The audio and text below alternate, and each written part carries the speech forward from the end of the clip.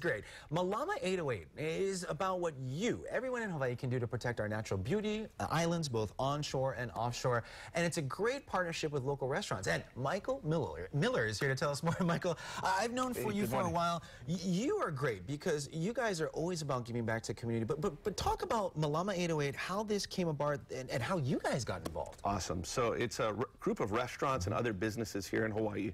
Uh, KTA on the Big Island, Zippy's. um, the uh, Yummy Group uh, are some of the big, bigger players in it. But there's over 100 different restaurants Wow. that have gotten together.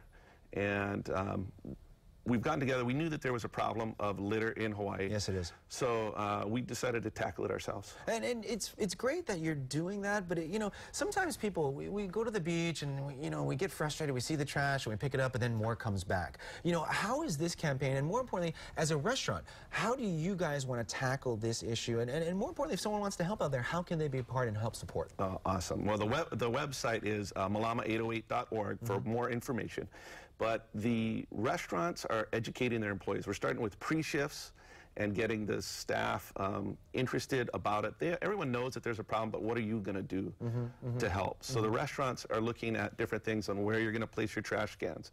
Are you emptying them frequently enough? Are you, when you're rolling the, the trash cans to the big dumpster and dumping it in, are you making sure that things aren't blowing away? With our trade winds, it's always an issue. Oh, you know, and it is, and, and it's funny. Sometimes, I mean, I, I grew up in the restaurant business, and you know, you got a dinner rush or going on, but but just making these simple, you know, just hey, remember this. It makes a big difference on the other side, doesn't it? Absolutely. And you guys have seen that, right? Yeah, we've seen we've seen the impact, and and it's just about bringing the awareness mm-hmm. of it.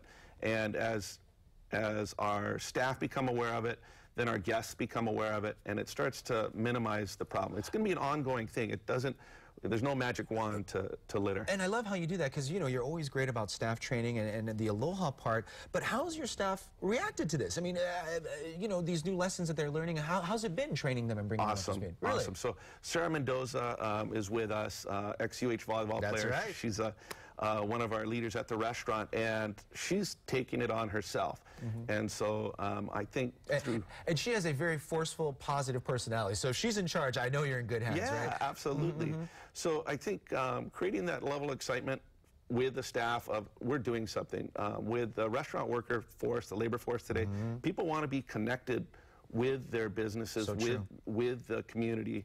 They don't want to just show up for work and Yep. that's it. hmm No, that's what I love. And we're actually talking in the commercial break. I want to go back down uh, because when we talk to your employees for another thing, they had so much pride coming to work and it was so much fun. And, and you, as an interviewer, when I was talking to them about that, but I can imagine as guests that come in, that, that aloha, that respect, you, they can pick up on that as customers, right? Absolutely. Yeah, Wow. absolutely. Oh, I got to ask for you as a business owner, when, when you, it's hard to do business in Hawaii. It's challenging. And you guys are so successful, but having something like this to give back, how does it kind of make you, you feel inside? It's hard work, but giving back must make you feel good too. It does. It really does. You know, we, um, we everyone knows that Hawaii is a beautiful place, but we we need to make it even more beautiful. Yes. And uh, the issue with litter um, being out there, it's it's.